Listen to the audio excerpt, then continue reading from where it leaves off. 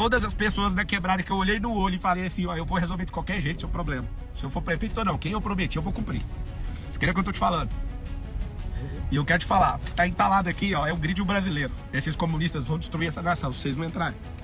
A maioria desses jornalistas, eles são malvados, nem é de maldade. Eles foram programados para serem idiotas, jornalistas. E eu não vou afinar para nenhum. Esses caras me desossam nas redes sociais, me destrói de todas as formas, eu não ganho um direito de resposta. Não ganhei nenhuma ação contra esses caras, eu não sei explicar o que, que acontece. Eu não sei o que, que eu fui fazendo direito. Eu não sei pra que, que eu perdi meu tempo estudando 5 anos de direito, cara. As coisas que são certas estão tudo errado, cara. Os caras vão prender Bolsonaro por nada e soltam o Lula por tudo. Que merda de país é esse que tá virando? Que ditadura é essa, cara?